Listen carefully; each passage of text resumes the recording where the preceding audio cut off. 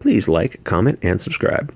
If I get something wrong, some factual error, just point it out. Let me know in the comments. I'm not going to block you or rage quit or anything weird like that. I'll just I'll just correct my mistake.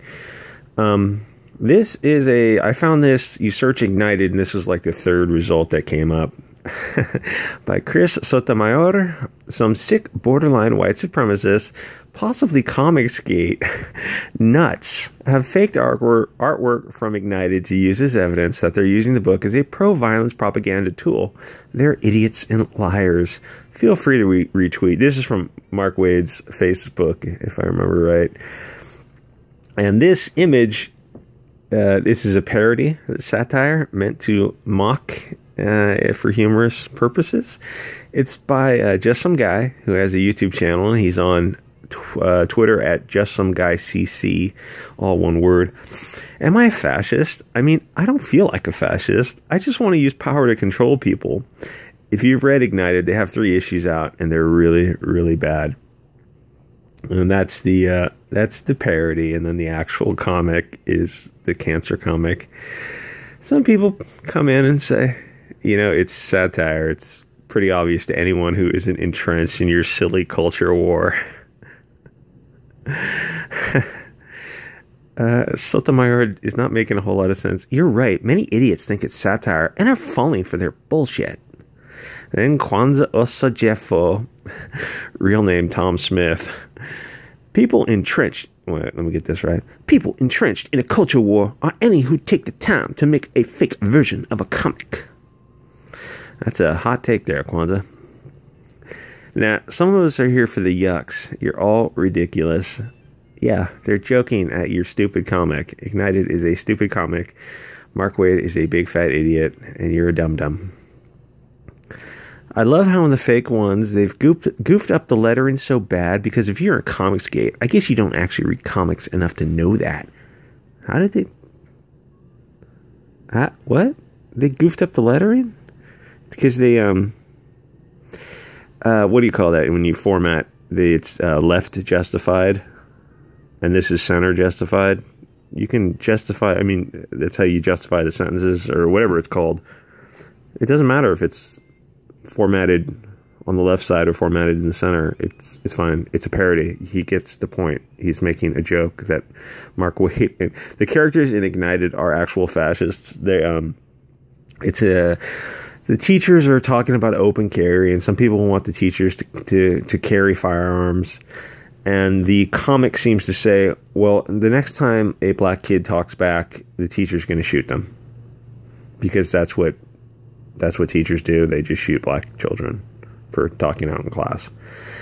And so the Mark Waid has these characters with superpowers come to the school and they um, the students are having a free speech event you know constitutionally protected activity under the first amendment free assembly free speech press religion redress of grievance whatever.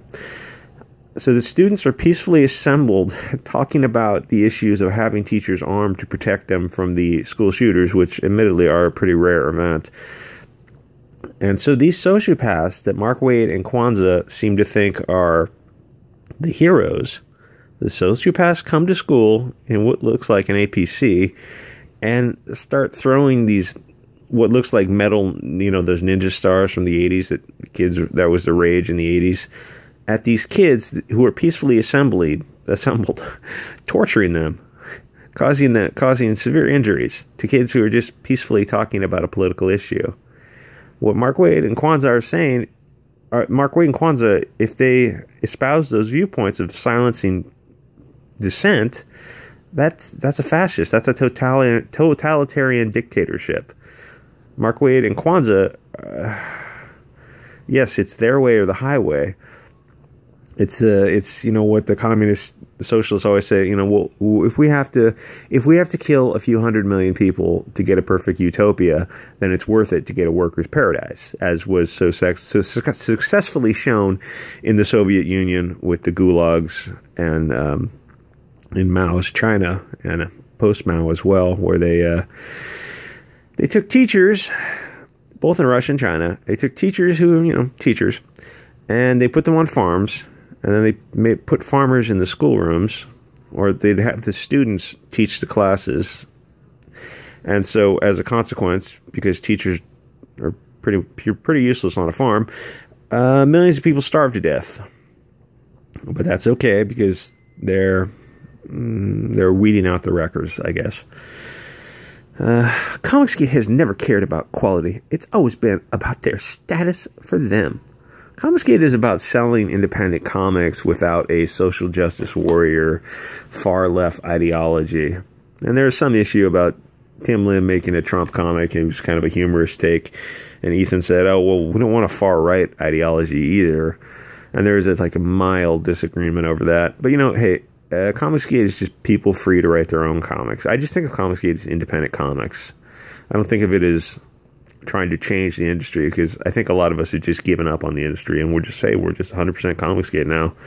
And the few comics that are available that aren't SJW. But the thing is, there are more and more rare. It's gonna you're it's hard to find uh, comics that aren't SJW among the mainstream. Creo que son muy buenos. Starblades. This is by Kyle Ritter, who I guess he drew and inked it himself, and uh, it looks amazing. I don't know. It's on Indiegogo. I don't know what, what kind of funding he's reached so far, but I think he's already successfully funded. So this is the art from Starblades Volume One. It looks really good, real solid. He's the artist. He who does uh, the coloring for Cyberfrog, I believe. So the black guy in his 20s that did that is a borderline white supremacist. And where do you see this being used as evidence? He made it as the thumbnail image for his video about the comic, which he obviously has a poor opinion of, and made an obvious joke. Cool off, man. Chris Sotomayor says, "Ha ha ha, okay." I don't understand. Do you not do you not believe him? Never let facts get in the way of your narrative. The guy who made it, oh, this is by Yellow Flash. guy who made it is black and from Chicago. He's also by by black dude from Chicago.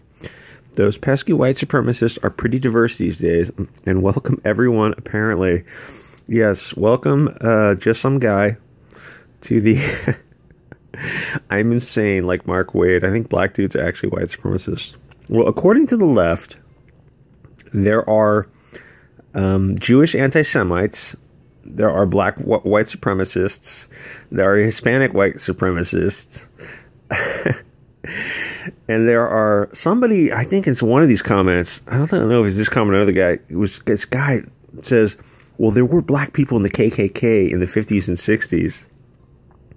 So I, I'm thinking to myself, well, you know, if there are black people in a group that you're calling uh, a supreme group, it's not the KKK; it's some other group I mean, if you're calling the, this group of people, you have a, a mixed group of people, um, like these people who go to the, they do these free speech events, and they're mixed. There's a lot of there's um, you know Africans and Hispanics, and um, it's a mixed crowd.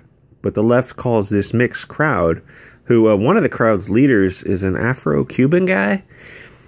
Uh, and they call them white supremacists. But you look at the crowd, the um, the free speech guys, and they're all they're all colors of the rainbows. They're black, brown, and white, and Asians, and they're gay and straight. I mean, there's all colors of the rainbows, like in Comicsgate. It's you know very very diverse. And you look at the the, the left wing, the Antifa kids, the far left people, and they're all lily white. And most Antifa kids are middle class or better, above middle class, and they're all just they look. I mean, if you had to look at two groups and say, hey, hey, what what, what group is going to be problematic here? The left wing, pure white. the right wing, diverse as hell. And you're telling me the right wing is the problem? I tell you, you're, you're out of your freaking mind. We are diverse. Kwanza Osajyefo isn't creating a fake narrative to push an agenda about your perceived opposition wanting to control people that's what the comic is about. You literally shut down a free, a peaceful assembly through violence. Isn't that fascism? Isn't that your weird, sick, twisted control fantasy? This clownish attempt is exactly the kind of propaganda an actual fascist group would produce.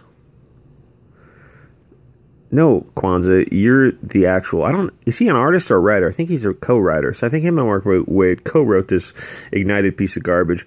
Which, if you look on uh, Indiechron, no, Comichron, not IndieCon. Indie, is the Comicsgate site that I, Edwin Boyette has a hand in, and it um it it lists Comicsgate projects. So if you're curious, go to Indiechron. They will show you the Comicsgate Indiegogo projects, uh, and they'll show you a little some of the art and give you a little description of it. It's a very cool site. Comichron shows you comic book sales. So if you look up Ignited on Comichron, I believe the first issue sold 9,000, which for Mark Waid and Kwanza Osajyefo, those are well-known names in the comic book in, in you know 2020 current year comic book industry. Kwanza Osajyefo has a big name. He should be able to sell books. Mark Waid has a huge name, though it's slightly tarnished because he's a defendant in federal court for um, defamation and tortious interference for trying to crush a small businessman, a, uh, a veteran, a family man who has three diverse kids. Uh, one of them wears a hijab, and Mark Waid calls this guy, Richard Meyer, a white supremacist. Because Mark Waid is a fucking idiot. Uh, these people are just it seems like the difference between the left and the right is when you show someone on the right or even a moderate the error of their ways, they can say, "Oh, wait, you know what? Maybe I misspoke. Let me re let me rethink my position when presented with new evidence."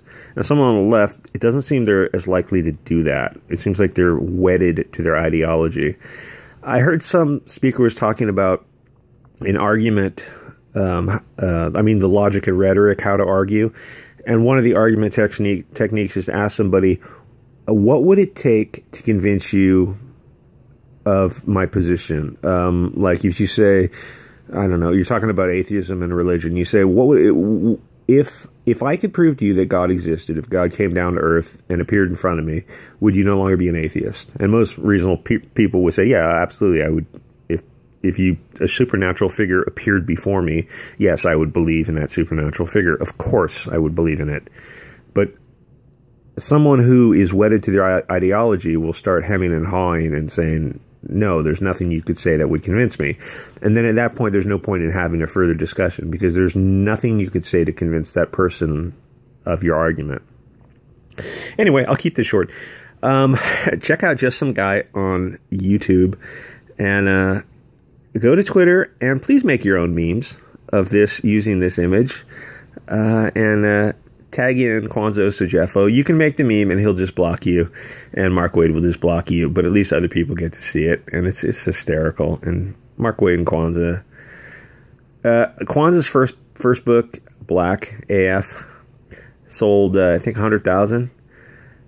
And you go to his Twitter and you read his his just anti anti anyone who's a moderate is a, a, Nazi. Anyone who's a conservative is a Nazi. Anyone who voted for Trump or is thinking about voting for Trump is a Nazi. Go to his Twitter, read his Twitter, get an idea of who he is, and then you look at his second book, White, and it's sold I think half of what Black did. That's not failing upwards. That's failing downwards. So, anyway, like, comment, subscribe. I'll see you next episode.